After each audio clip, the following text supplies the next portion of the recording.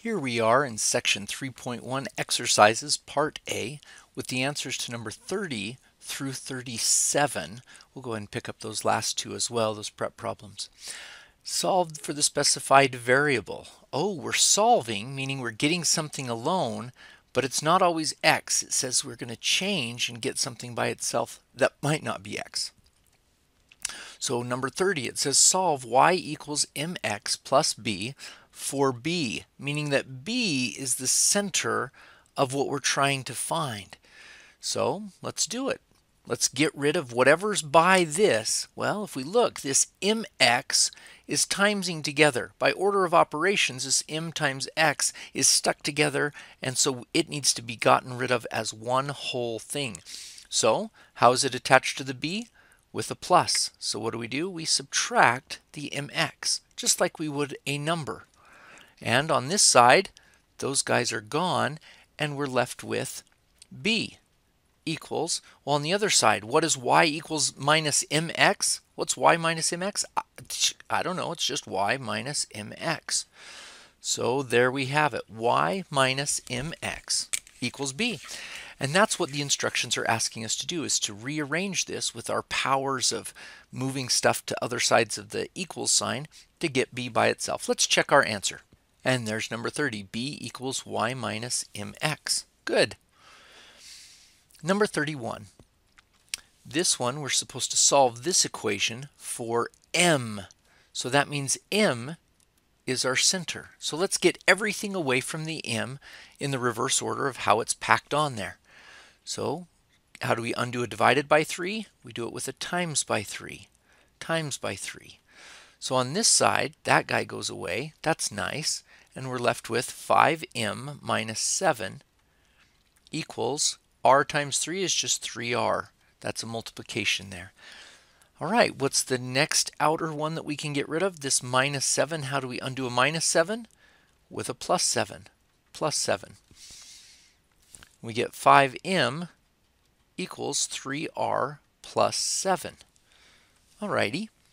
What's left to get m by itself? Because that's what we're trying to do, 4m we need to get rid of that 5. That 5 is attached with a multiplication, so we undo it with division. 5 divided by 5 cancels, and we divide by 5 over here. Are we there?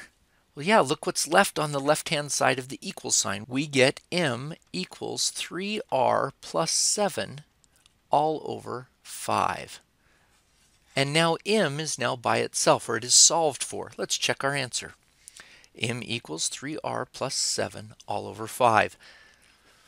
Number 32, a equals 2 pi rh, and we want to get h by itself. You may recognize this formula from uh, a cylinder. The, the lateral surface area used to be over here, but we're trying to get h by itself, so we have to get rid of everything but the h. Well, how is the 2 and the pi and the r attached to the h? That's multiplication. So we can divide by 2 pi r. Divide by 2 pi r. And we have 2's cancel, pi's cancel, r's cancel, and we're left with h by itself equals a divided by 2 pi r. And h is now by itself. Let's check our answer. h equals a over 2 pi r. Correct. Number 33. A equals 1 half BH, and we're trying to get B by itself, so I'm going to circle the B. We've got to get rid of the things that are by it. Well, we have a 1 half multiplying. How do we get rid of a 1 half that's timesing? We divide by 1 half. Now, dividing by 1 half is the same as timesing by 2 over 1. So I'm going to write it uh, with that shortcut of multiplication. Times by 2 over 1, you'll notice 2 times 1 half is gone. So we now have BH equals 2a. Now, trying to get the b by itself, we've got to get rid of that h. How do we get rid of h? By dividing by h on both sides, because it is attached with a multiplication. So we end up with, those are gone, we get b equals 2a over h. And if you write it like that or like this, those are the same thing. Let's check our answer. b equals 2a over h. Excellent. Number 34. C equals 5 ninths F minus 32. That was our temperature conversion formula. Now we want to solve this, not when we have F as like 10 or 15, but it says solve it for F. So we get a new kind of formula that looks, that looks similar, but will be solved for F. So let's peel from the outside. You'll notice these parentheses say F minus 32 happens first, then we times by 5 ninths. So we're going to divide by 5 ninths. Dividing by a fraction is the same as timesing by 9 fifths. Timesing by 9 fifths. So on the left-hand side of the equal sign, we have 9 fifths C equals 9 fifths times 5 ninths. These are inverses. That's what, that's what happens. They cancel out, and we've got the F minus 32. Um, so how do we get F by itself? That's our goal, to get F by itself. Oh, we've got to add 32 to both sides. So let's add 32, add 32. Now 9 fifths C plus 32 uh, can't combine anything, they're not like terms, equals F. And you'll notice that that's the formula that is in your textbook that will convert Celsius into Fahrenheit. This one converted the Fahrenheit into the Celsius. So they're the same formula. One of them gets your Celsius and the other one gets the Fahrenheit. Number 35, oh, let's double check our answer first. Number 35, number 34, there we have it, 9 fifths C plus 32. All right, number 35, volume, or V, equals 1 third pi r squared h, and we're trying to get h by itself. Well, we have 1 third pi r squared. We could divide by that whole thing, but dividing by a fraction, we'd have to multiply by the reciprocal anyway. So let's take care of the fraction first. Divide by 1 third, is the same as timesing by 3 over 1, timesing by 3 over 1. So we get 3v equals fraction gone pi r squared h.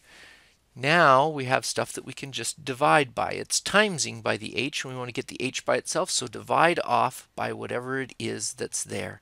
Kind of makes you feel powerful, doesn't it? To divide off pi r squared, and you don't even know what they are. And this, that's kind of as simplified as it goes. So you've actually just created another formula that will solve for h. So 3v over pi r squared, let's double check our answer. We get h equals 3v over pi r squared. All right, now let's look at the 36 and 37, the preparation problems. Number 36 says, after reading some of the next section, so this is in preparation for your, your group work together, try to solve this problem. It says two numbers add up to 94, and the first one is 26 more than the second one. Find the two numbers. Ah, we're doing some word problems here, and it says we've got two numbers.